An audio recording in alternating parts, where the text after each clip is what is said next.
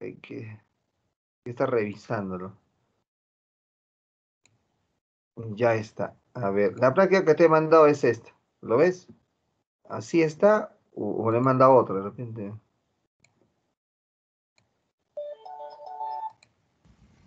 Sí, profe. Ya está. Práctica dirigida número 2, comprensión de lectura. Grupo Bryce, ya les he dicho que estamos eh, con 19 años de, aniversario. Eh, su patrona es la Virgen del Carmen, así que un saludo especial. Y bueno, ese soy yo cuando tenía un poquito más de cabello. Recomendaciones, las mismas que les di la vez pasada. Ya les he dicho, promedio 5 minutos, un minuto por pregunta, contando la lectura. Empezamos con el texto número 1. El texto número 1 tiene 5 ejercicios. 5. O sea, ya tienes más o menos qué promedio te voy a dar. Resuelve y trata de que todos tengan bien. Yo luego voy a explicar y te voy a conocer cómo fueron las respuestas de cada uno. Listo, jovencito, está trabajando. Corre el tiempo.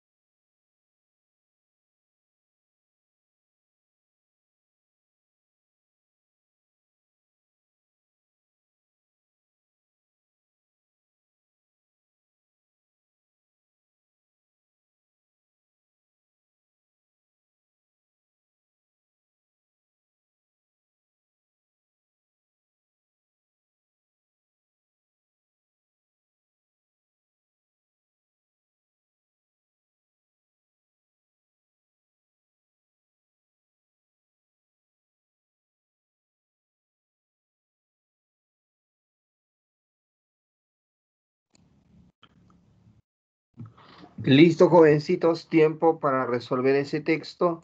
Espero que ya todos tengan sus respuestas. Voy a resolverlo. Eh, lo estoy compartiendo ya en la pantalla eh, para poder resolver ese texto. ¿Listo? Muy bien, aquí está el texto. Eh, me pregunta, a ver, un ratito, un ratito, oh, oh, oh, acá está. Es que hay que ocultarlo un poco. Ahí está.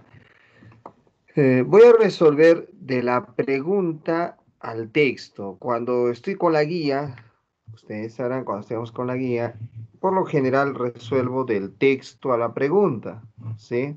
Del texto a la pregunta, del texto. O sea, voy al texto y encuentro la, el tema, la idea principal, las ideas secundarias, así hago, o sea, lo divido en tres partes y luego voy resolviendo, ¿no? Pero también se puede resolver de esta manera, o sea, yo voy acá y de aquí resuelvo aquí.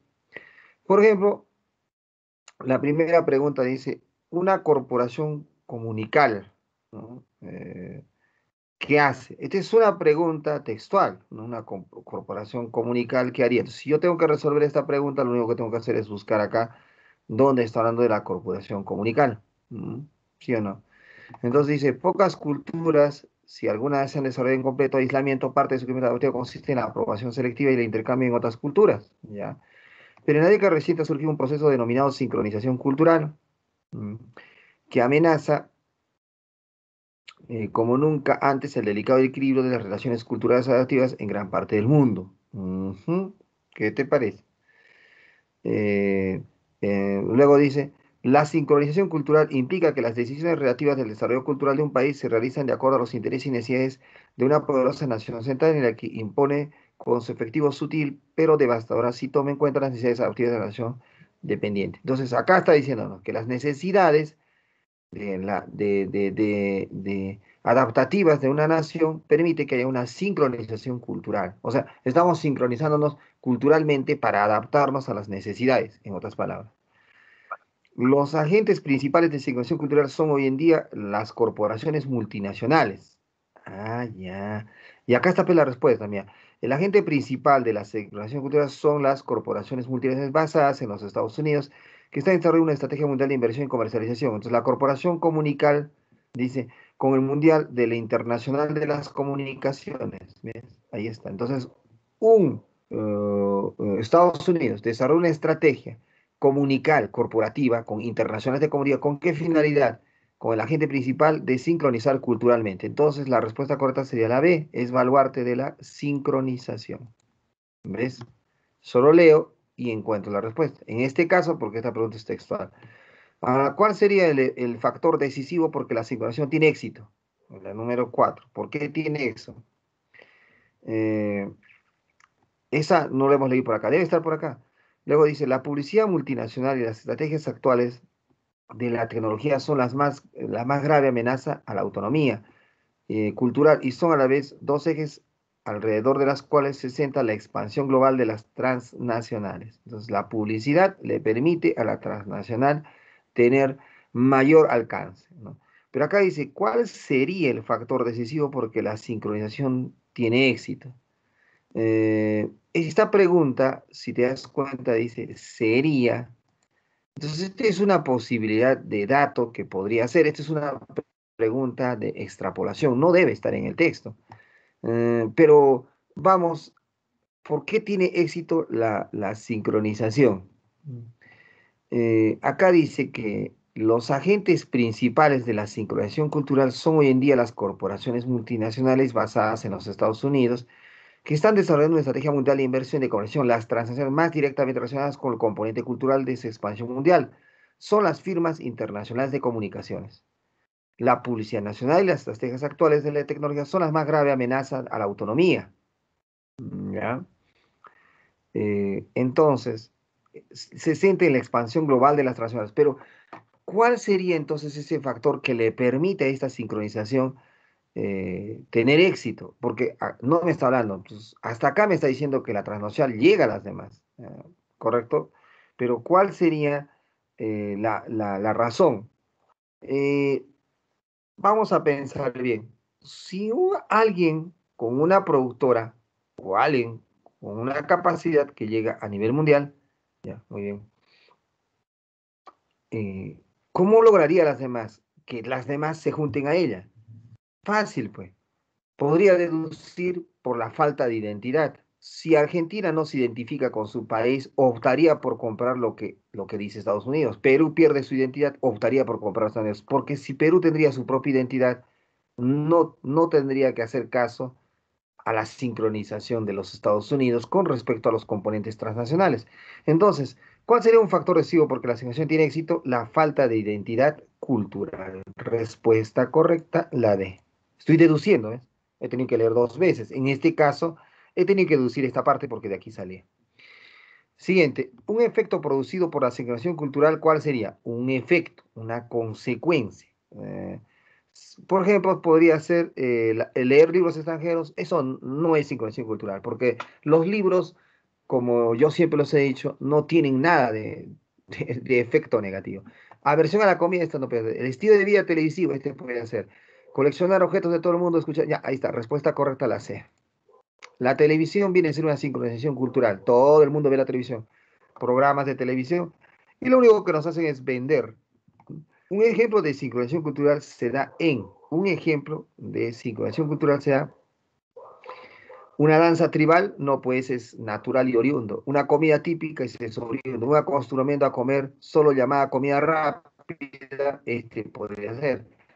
Una obra literaria que revela influencia, nada, la comida rápida. La sincronización cultural significa realmente, ¿qué significa? Ah, ese está acá arriba, ¿no? Este me está pidiendo eh, interpretar. Pocas culturas, si alguna vez se ha desarrollado un completo aislamiento por parte del crecimiento adaptativo, consiste en la apropiación selectiva y el intercambio con otras culturas.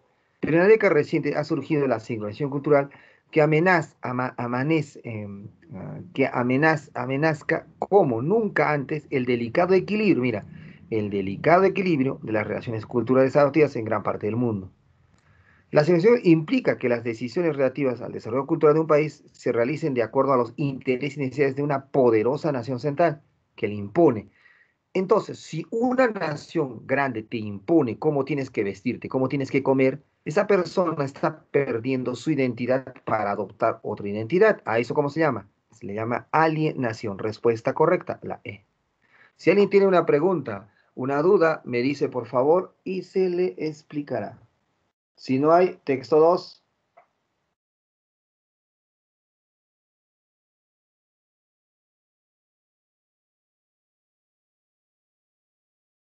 Preguntas, dudas, no hay. Texto 2, está corriendo el tiempo.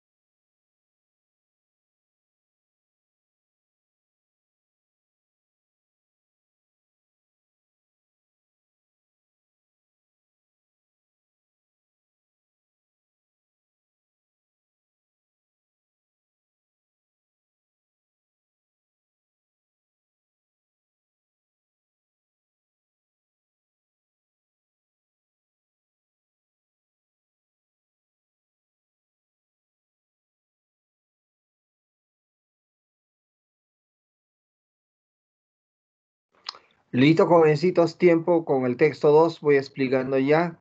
Espero que todos ya tengan sus respuestas. El texto 2 dice, empezamos a resolver. Por ejemplo, te dice, el contenido del texto correspondería a estudios de... Esta es una pregunta de formación del texto. Tendríamos que saber qué tipo de texto es este, temáticamente, y de esa manera podríamos saber la respuesta correcta. Dice, la verdadera formación no es formación para un fin, sino que como todo anhelo de perfección tiene sentido por sí misma. Así como el deseo de la fuerza de estrés y belleza no tiene ninguna finalidad, ¿cuál podría ser la de hacernos ricos, famosos o poderosos?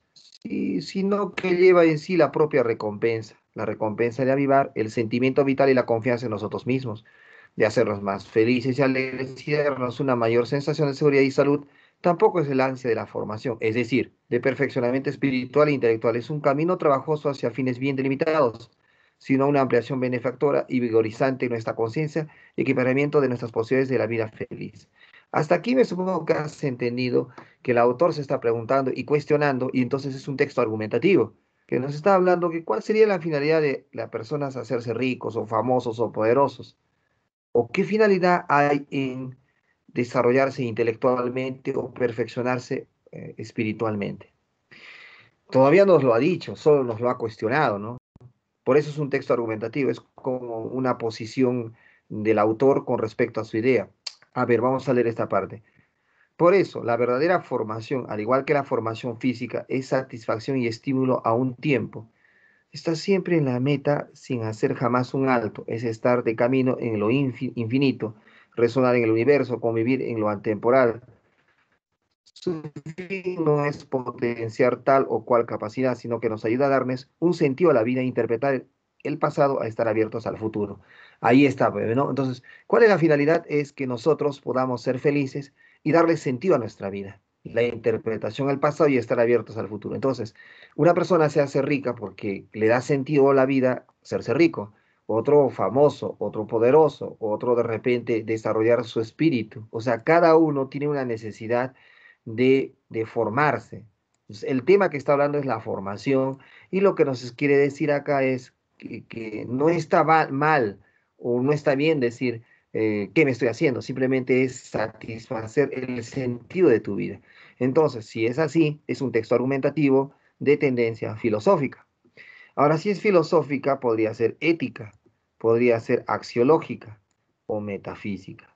Estos tres lo estudia la, filosofía, ¿sí? La filosofía estudia la ética, la axiología y la metafísica. No puede ser la metafísica, porque la metafísica es más allá de los, del sentido real, no, no, no haría.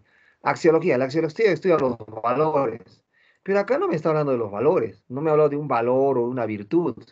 Al contrario, me ha dicho que cada uno trata de darle sentido a su vida e interpretar el pasado y estar abiertos al futuro. Entonces me está dando desde un punto ético. Respuesta correcta, la C. Podemos, acá, acá tenía que empezar con mayúscula y un error, ¿ves? Podemos afirmar que un hombre verdaderamente formado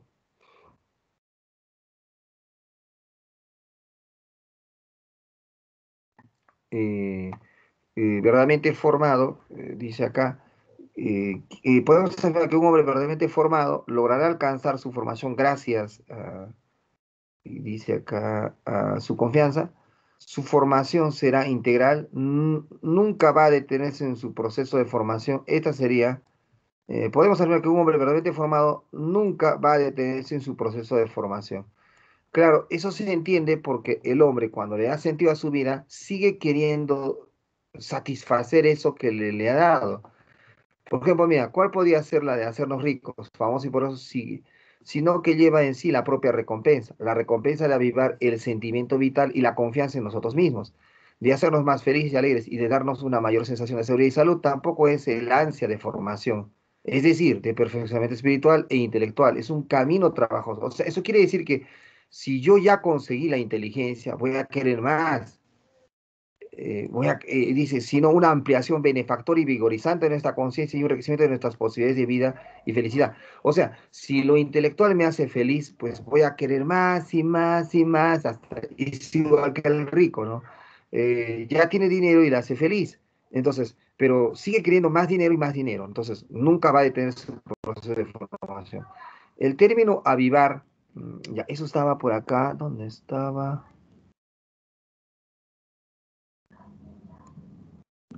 Uh, ¿Dónde estaba? Avivar, pero se puede entender que... Acá está, de avivar, aquí está avivar, dice, la recompensa de avivar el sentimiento, avivar el sentimiento, entonces sería fortalecer, respuesta correcta la C, pues está, está mejorando. Se entiende que si una persona no ha encontrado el sentido en su vida, si no ha encontrado, mira, esta es una pregunta, se entiende que si es una pregunta de extrapolación, ¿no? Se va a entender que si una persona no ha encontrado el sentido de su vida, se habría formado solo cognitivamente, o sea, en conocimientos, pero no hubiera tenido satisfacción de ellas. Número uno, eh, el, de acuerdo al contenido textual, es incompatible a la verdadera formación, es semejante a la formación física. Sí, eso lo ha hecho el texto, lo ha comparado. La satisfacción y el estímulo se dan simultáneamente. Eh, te estimulas, te satisfaces. ¿no? No, no, no tiene términos y amplía nuestra conciencia. Sí, no tiene términos. Y amplía cada vez más. O sea, es como una droga. ¿no? Nos permite darle un sentido a nuestra vida y proyectarnos. Claro, eso está al final tiene sentido por sí misma y nos da una felicidad de la que carecíamos. Mm, no tiene sentido por sí misma. Porque si tú te, porque por eso cuando se pregunta, ¿por qué quiero más dinero si ya lo tengo? ¿O por qué quiero más intelecto si ya lo tengo? Eh, no tiene sentido por sí misma. O sea, le da sentido a la vida y nos da una felicidad de la que carecíamos. Eh, no es tan cierto tampoco eso. Sí es cierto que nos hace más felices, más felices acá lo dice, hacernos felices, pero cuando yo digo hacernos más felices, no es que antes estábamos infelices, sino que éramos felices, pero nos hace más felices. Entonces, la felicidad que carecíamos, eso significa que no tendríamos. Respuesta correcta, la E. Entonces, acá hay una ambigüedad. Muy bien, joven, la respuesta correcta. Si alguien tiene una pregunta, me dice si no está leyendo ya el texto 3. Texto 3. Preguntas, dudas. No hay. Está leyendo el texto 3. Apúrense.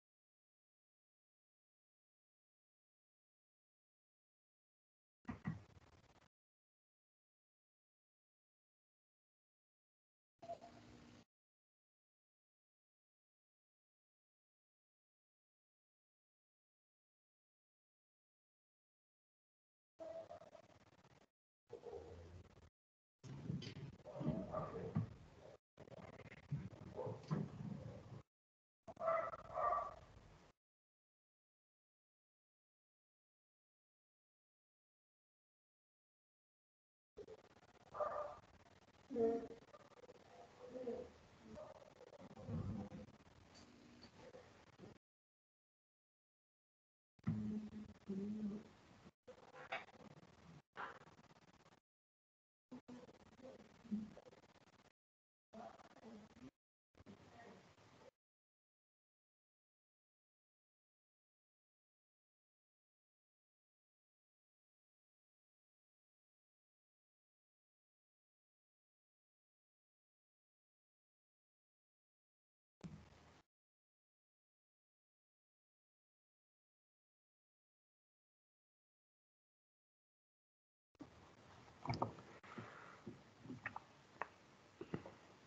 Listo, jovencitos, vamos a resolver ahora este texto.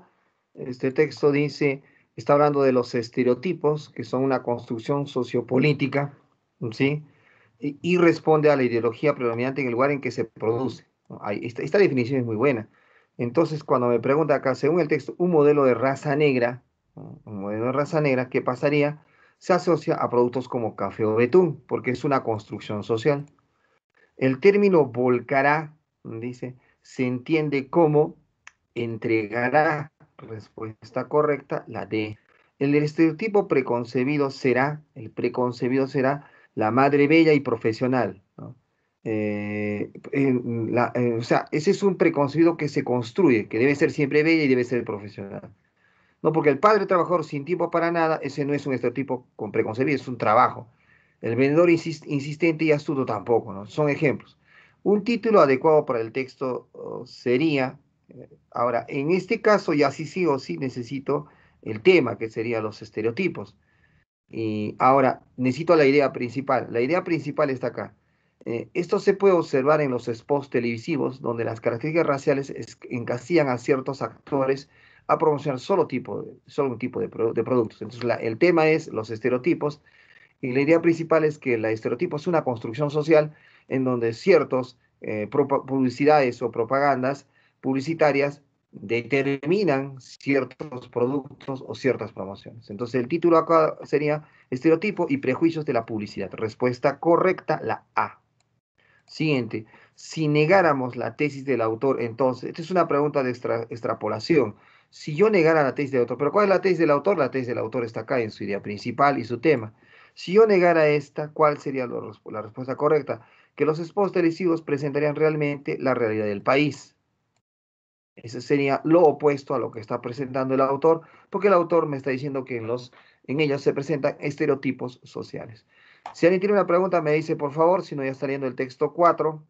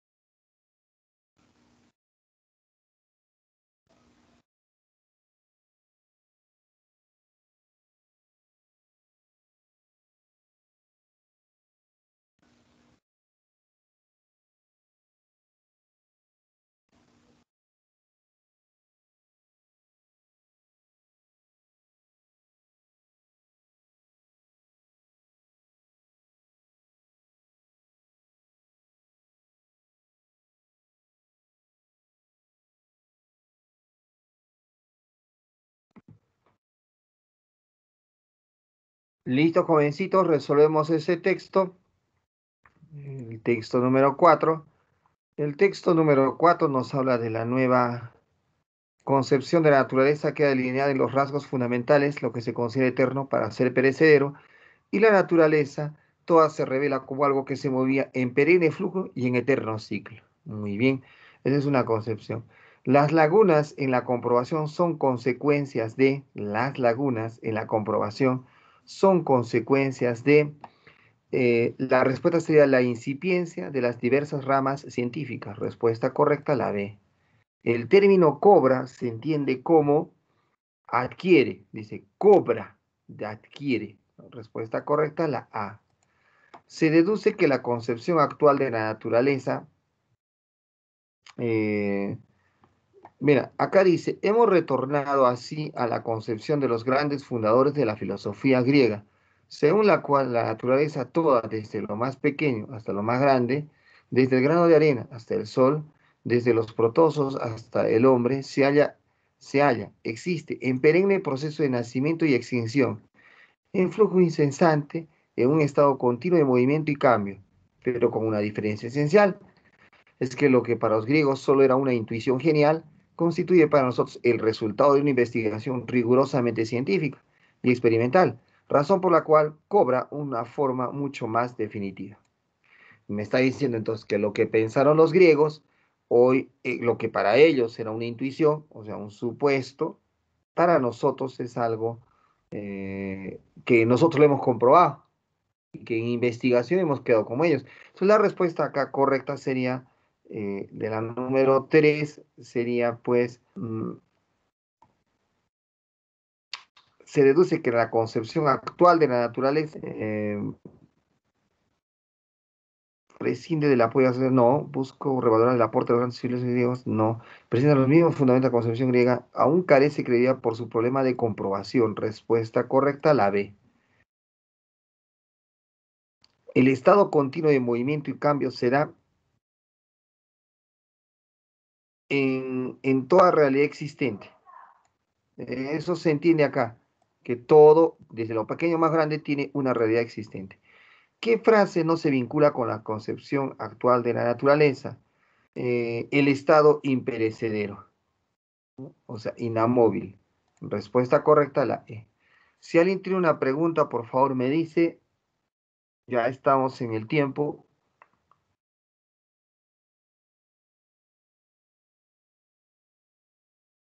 No hay.